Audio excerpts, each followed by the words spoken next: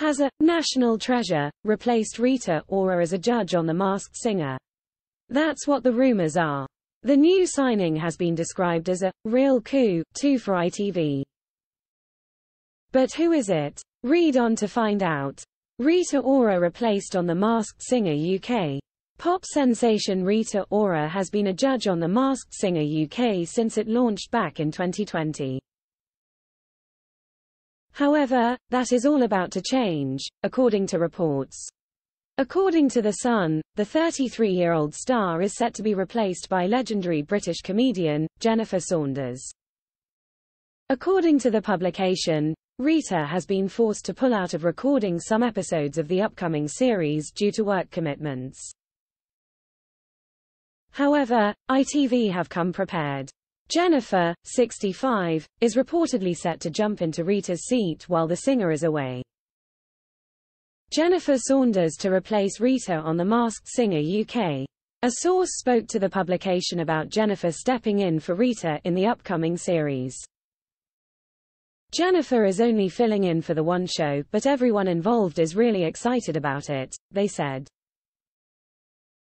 She's a national treasure and is bound to go down a treat with viewers.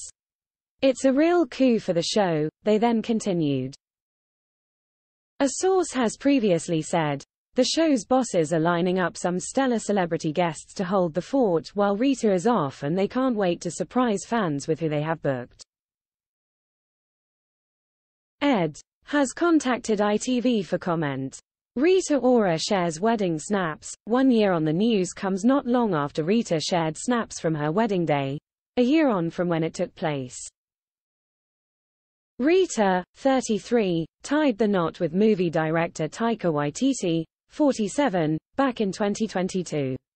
They had been linked as an item as far back as 2021.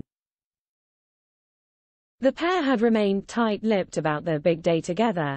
However, back in August, Rita finally shared some snaps from their wedding.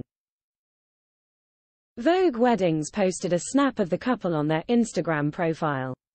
It's actually been quite entertaining for us to see the different stories people made up and all the while getting to keep it to ourselves, Rita said.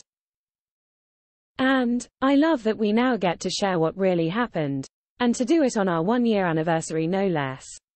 The couple reportedly tied the knot at their Los Angeles home.